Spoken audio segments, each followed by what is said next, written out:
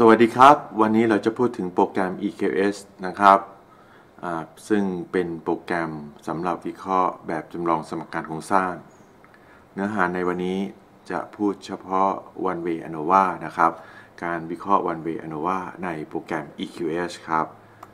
สำหรับการวิเคราะห์ one way ANOVA นั้นก็เป็นการวิเคราะห์เปรียบเทียบความแตกต่างระหว่างกลุ่มนะครับ ค่าเฉลี่ยความแตกต่างระหว่างกลุ่มตั้งแต่ 3 กลุ่มขึ้นไปนะครับ สองกลุ่มเราจะใช้ t-test 3 กลุ่มขึ้นไป เราจะใช้ one way ANOVA นะครับข้อมูลที่ใช้ในการวิเคราะห์ EQS เราสามารถดึงข้อมูลที่เป็นไฟล์ SPSS กับ DAT ไฟล์ได้นะครับ อันนี้ก็จะเป็นไฟล์ text นะครับ DAT เนี่ยนะครับสำหรับข้อมูลที่นำมาใช้ในการทดสอบครั้งนี้ ก็จะเป็นนะครับ Cell Performance นะครับของ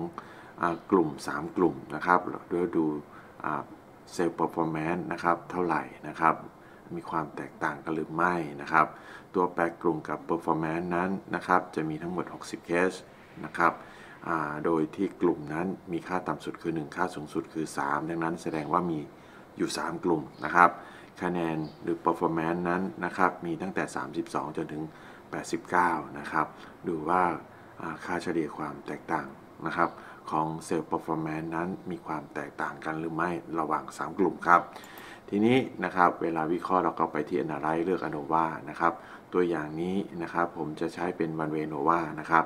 ท่านได้สนใจ Two Way หรือว่า GLM ก็สามารถติดตามนะครับ ศึกษาเพิ่มเติมได้นะนะครับสำหรับตัว One Way ANOVA นั้น ตัวแรกที่เราต้องนำเข้าก็คือ Dependent Variable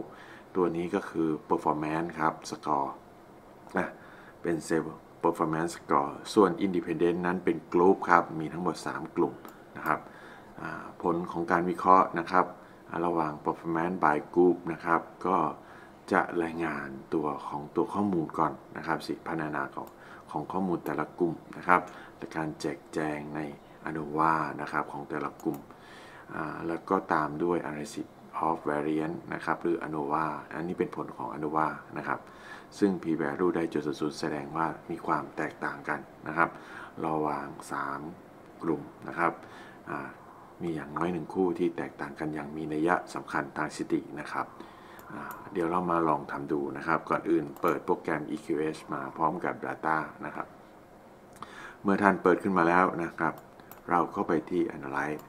แล้วเลือก ANOVA นะครับแล้วเลือก One Way ANOVA นะครับหน้าต่างของ One Way ANOVA จะปรากฏขึ้นนะนะครับ dependent variable ต้องเป็นตัวแปรตามนะครับก็ใช้ performance score นะครับ ตัวนี้เป็น cell performance score จากนั้น independent variable จะเป็นตัวแปรกลุ่มนะครับ เราก็จะใช้ group นะครับที่มีอยู่ 3 กลุ่ม จากนั้นตอบโอเคครับเราก็จะได้ผลการวิเคราะห์ one way ANOVA นะครับ ซึ่งตัวแรกก็จะเป็น descriptive ของตัวแปรทั้งหมด นะครับแล้วก็แบ่งเป็นกลุ่มที่ 1 ครับ แล้วก็กลุ่มที่ 2 ตัวอาจจะเล็กไปนะครับ ผมขยายให้เป็น 200 แล้วกันนะครับนะครับตัวแรกนะครับก็จะเป็นกลุ่มนะครับ เป็นข้อมูลทั้งหมดนะครับ โดยไม่ได้แบ่งกลุ่ม ตัวที่ 2 ก็แบ่งกลุ่มที่ 1 ครับ มีทั้งหมด 20 เคส กลุ่มที่ 2 ก็ 20 เคสนะครับ กลุ่มที่ 3 ก็ 20 นะครับ รวมทั้งหมด 60ลาย ทีนี้นะครับเมื่อวิเคราะห์เปรียบเทียบแล้วเราจะเห็นว่านะครับ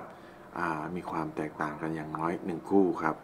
โดยที่ถ้าดูจากตัวค่าเฉลี่ยนะครับ กลุ่มที่ 1 ก็ประมาณ 63 สกอร์นะ เฉลี่ย 63 ตัวที่ 2 ก็ 73 แล้วก็ตัวกลุ่มที่ 3 ก็คือ 79 นะครับก็มีความแตกต่างกันอย่างน้อยหนึ่งคู่นะครับสำหรับการวิเคราะห์ one way ANOVA